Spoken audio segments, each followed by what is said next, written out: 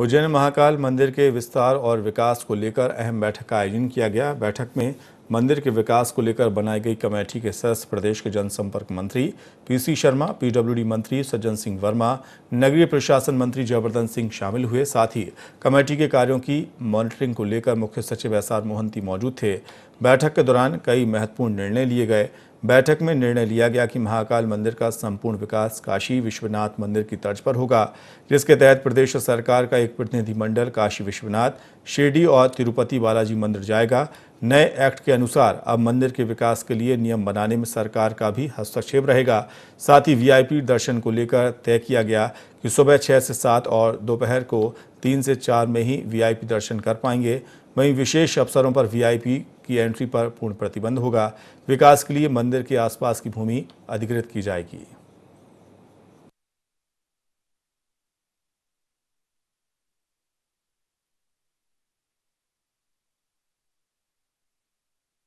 आने वाले दिनों में उज्जैन में जो भी डेवलपमेंट काम होगा, महाकाल को केंद्र में रखते हुए जो होगा, वो टोटली यहाँ के जनप्रतिनिधि, यहाँ के पुजारी, यहाँ के जनता, सब लोगों को कॉन्फिडेंस में लेके किया जाए।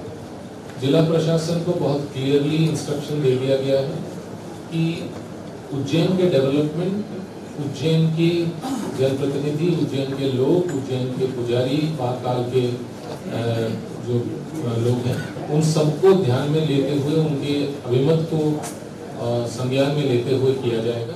कमलनाथ जी ने कहा कि नहीं, मुझे डेढ़ माह के अंदर योजना का प्रथम द्वितीय चरण शुरू होते हुए दिखना चाहिए तो उसकी पूरी तैयारी कर ली है अधिकारियों ने।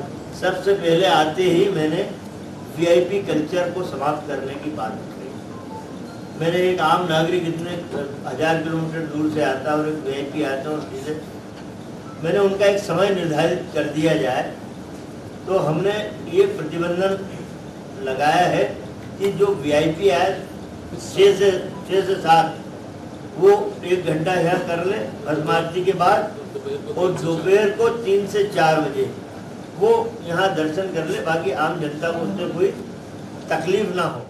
जो भी जो भी ऐसे नाले हैं जो शिमला में पहुँच रहे हैं जिससे सागर इन्फेक्ट हो रहा है, हमने टारगेट रखा है कि अप्रैल तक ये पूरा पानी बिल्कुल क्लियर हो जाए।